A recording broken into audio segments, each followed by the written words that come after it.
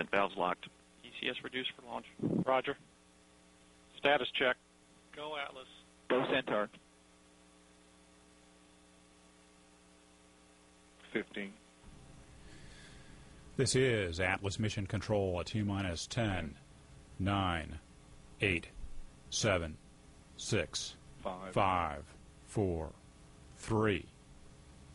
Atlas engine ignition, zero, and liftoff of the United Launch Alliance Atlas V rocket carrying OTV-1 for the United States Air Force. Vehicle is cleared the Let's now listen in to Marty Malinowski providing launch vehicle ascent data throughout this flight.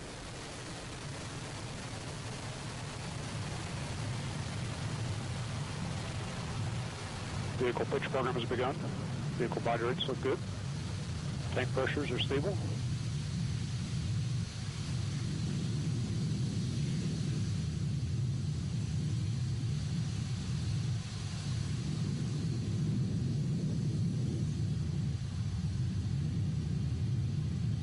Booster engine continues to operate well.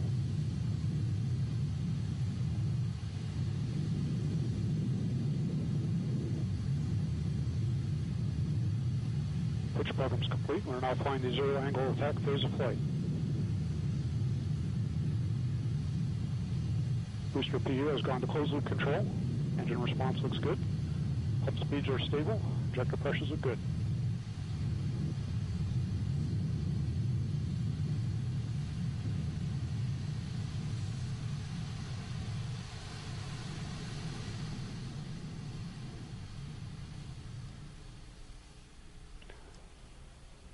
Range track looks good as we've now passed through max or Mach 1. Max Q, boosters throttled back, right on schedule.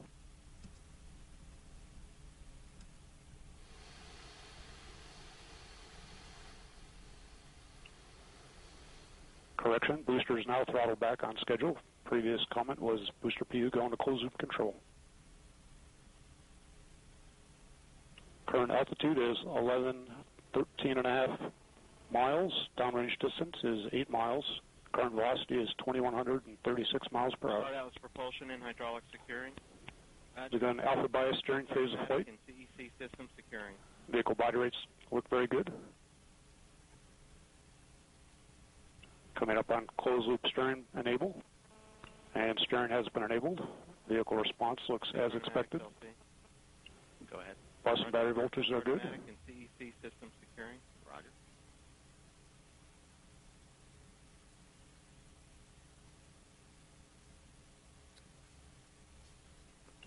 RCS pyro valve has been fired. And we've begun to throttle to maintain two and a half Gs for payload fairing jettison. Current altitude is 37 miles. Downrange distance is 36 miles. Current velocity is 4,082 miles per hour.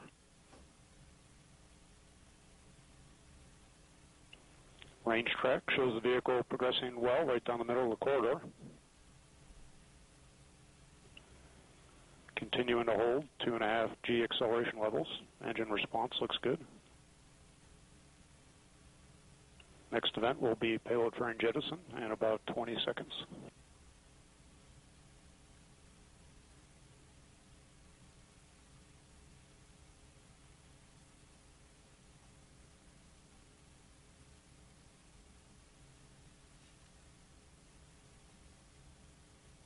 And we have payload fairing jettison.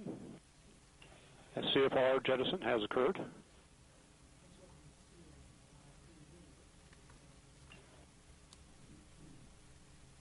We're now throttling back up. Engine response looks good. Boost phase cooldown has begun.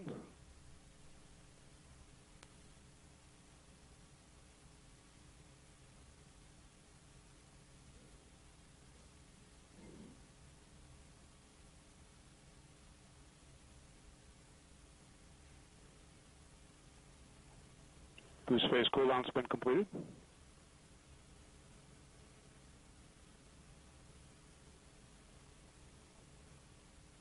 And we have BECO.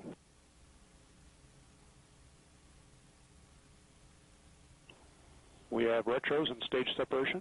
We have LOX and fuel pre-start. GN2 purge firing is underway. We have ignition and full thrust on the RL10.